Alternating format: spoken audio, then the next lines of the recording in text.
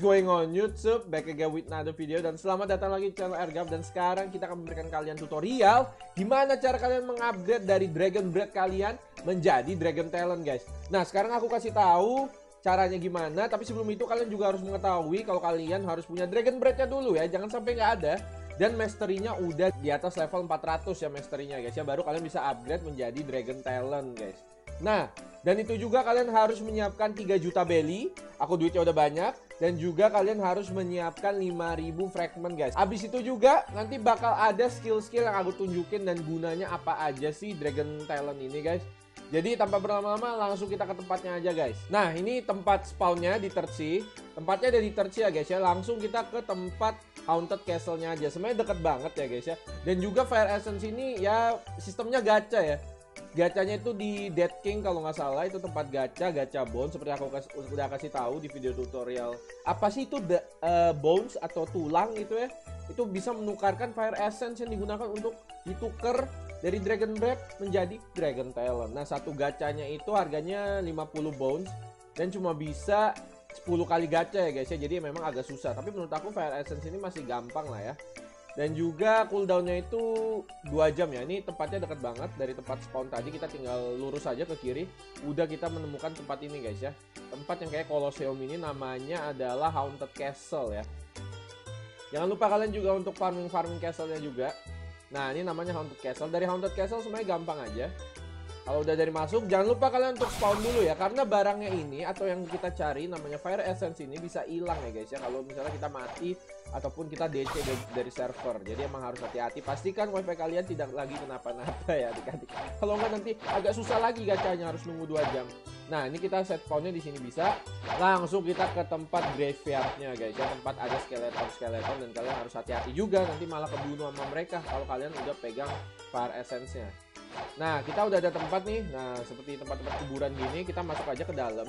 Nanti kita bakal bertemu dengan namanya Dead King. Nah, di sini tempat kalian gacha Fire Essence dan item-item lainnya, guys ya. Tapi yang kita cari adalah Fire Essence. Oke, kita bakal gacha terus apakah kita dapat apa enggak? Semoga kita dapat tadi Nah, sekarang aku udah mendapatkan item yang kita butuhkan yaitu namanya Fire Essence. Nah, itu gunanya untuk mengubah uh, Dragon Bread menjadi Dragon Talent ya, guys ya. Jadi kita langsung aja ke tempat di mana kita bisa beli.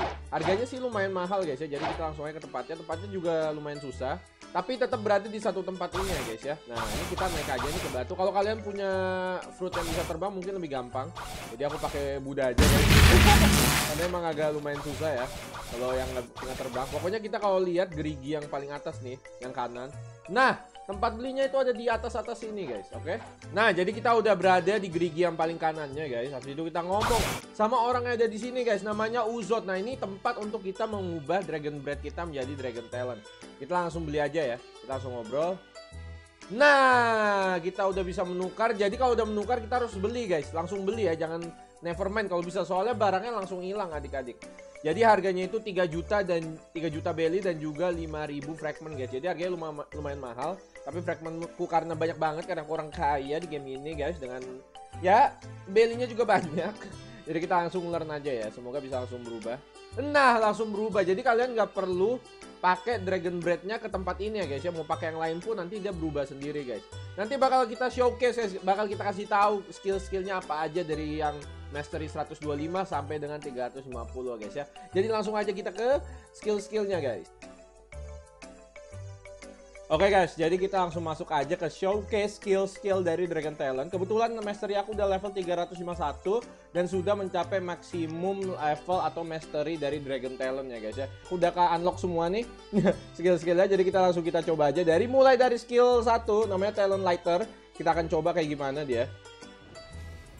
Oh, jadi dia sistemnya grab gitu ya, Dragon Lighter. Nah, karena sistemnya Grab ini biasanya dia uh, kesulitannya adalah di aimingnya guys. Ya, ini kenapa pada di sini? kesulitannya ada di aiming ya. Kadang kalau nggak pas bisa nggak ke Grab guys, karena ini sistemnya Grab dan damage-nya lumayan sakit ya. Nah, tuh. Dia langsung ngelok orang gitu guys ya. Ya, kesulitannya adalah M-nya guys. Jadi emang harus dibutuhkan M yang bagus guys dalam bermain ini ya. Terus kita lanjut ke skill ZX-nya guys yaitu Ember Annihilation guys. Kita akan coba kayak gimana. Oh, dia ngeburn kah? Oh, dia ngeburn guys. Jadi dia ya lumayan damage ya. Tapi dia habis itu ada aftertaste-nya guys. Ada akhirnya tuh kayak gini guys ya. Coba kita coba dulu ya. Nah ini kita coba nggak kena, tapi apinya itu akan menyambar diri mereka juga guys. Nah, kita coba pakai maju dia. Agak pinter sih dia. Nah, nambah tuh guys ya. Jadi emang apinya agak sedikit ngebantu. Tapi walaupun ngebantu, nggak ngebantu sih guys ya. Dikit doang damage-nya. Oke, 4000 lumayan. Nah, oke untuk PVP ini menurut aku agak susah sih. Kalau yang bisa larinya cepat mungkin agak susah ya guys. Terus sekarang kita akan lanjut ke ultinya yaitu Infernal Vortex guys. Kayak gimana? Apakah mudah untuk digunakan atau malah lebih sulit untuk digunakan? Kita coba ya. Oke. Okay. Uh, damage-nya 12.000. Gila, lumayan. Cuma gak enaknya adalah untuk cooldown-nya itu agak lama. Ya mungkin karena ulti, jadi emang biasanya agak lama. Dan juga dia knockback-nya jauh banget guys. Coba kita uh, kasih lapangan yang agak jauh ya. Nah ini kita coba dia. Apakah knockback sampai mental ke ujung dunia? Hmm, bahkan sampai nggak terlihat guys di mana. Coba kita ulang lagi ya. Nggak musuhnya menghilang guys. Coba kita pakai lagi skill ya. Jadi menurut aku uh, agak agak kur kurang sih ultinya walaupun damage-nya emang gede sih. Untuk farming menurut aku bagus. Kalau untuk PvP menurut aku untuk orang yang larinya kencang agak susah ya. Kita oh salah sorry bukan ulti itu. Kita pakai ultinya sekarang. Dem sampai depan dia. Damage-nya sih emang kenceng guys ya. Eh, jadi kesimpulan aku emang ini bagus untuk orang yang biasanya pakai skill atau mekaniknya atau penggunaan skillnya itu udah jago banget ya guys ya. Untuk pemula emang agak susah karena ini mengandalkan aim dan juga momentum atau timing ya guys ya. Apalagi skill satunya itu untuk ngegrabnya agak susah.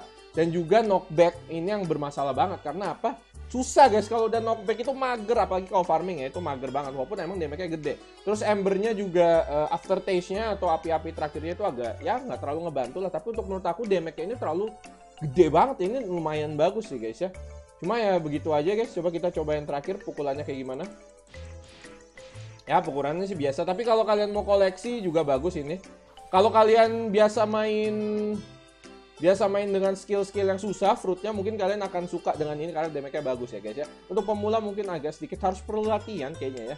Tapi untuk koleksi bagus banget nih guys, ada api-apinya. Coba kalau ada biru-birunya ini udah pas banget nih sama warna aku. Oke, so segitu aja untuk video kali ini. Jangan lupa kalian like, comment, dan subscribe. And kalau ada yang pertanyaan bisa tanya di bawah. Kalau ada yang kurang bisa dilengkapi di bawah, nanti akan aku pin. Terima kasih semuanya. Dan jangan lupa kalau ada pertanyaan mau dibuatin tutorial apa bisa tulis di kolom komentar aja ya. Biar aku buatin secepatnya. So, thank you for watching. I'll see you guys on the next video and bye-bye.